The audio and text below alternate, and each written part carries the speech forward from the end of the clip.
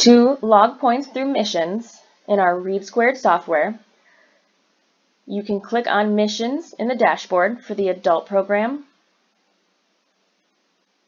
Each program has different missions through their dashboard. We have Selfie Challenge and virtual field trips for the adult programs. For the Kids and Teen program, we have an indoor scavenger hunt, a kindness challenge, a selfie challenge, and virtual field trips. The indoor scavenger hunt, click go to mission, and you find all the following items in your home. You find a toy with wheels, complete. Activity. And you go all the way through, and once all the items are completed,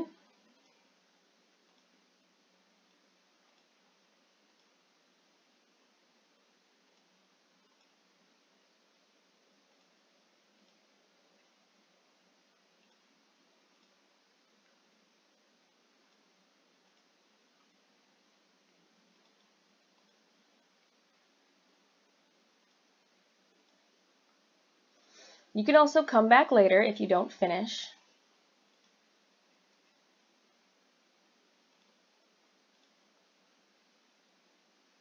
So you don't have to do all of these in one go. All right. And our last item, complete now. And once you've completed, congratulations, you've earned the badge, the Indoor Scavenger Hunt. You've earned a digital badge and an extra points for a raffle ticket for the grand prize. To log, to log mission points for the 100 Books of Summer, you'll go to Logging, and under there's Missions. So our first one is 25 things to do this summer. Do 25 of these activities and earn an extra grand prize raffle. So you go to Mission and it works the same way.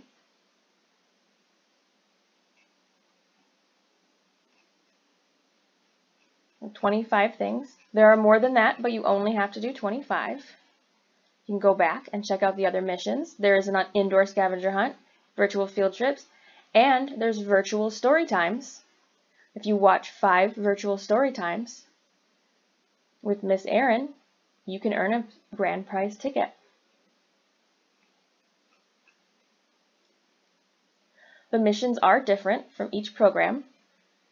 But if you complete a mission as a family, feel free to just check it off for all programs. Again, any questions can be brought in the Ask a Question message.